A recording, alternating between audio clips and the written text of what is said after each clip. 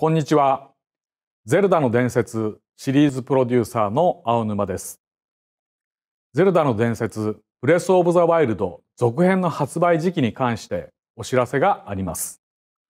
本作は2022年に発売を予定しているとお伝えしていましたが、開発にもう少しお時間をいただきたく、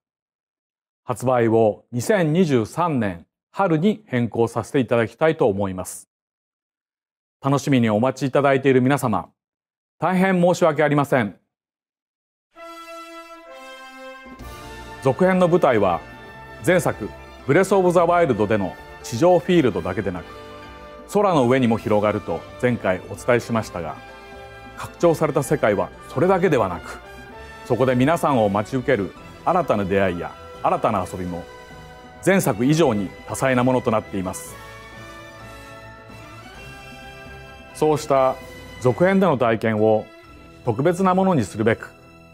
開発チーム一同引き続き総力を挙げて取り組んでいきますのでどうか今しばらくお待ちいただければと思います。今回のお知らせは以上となります。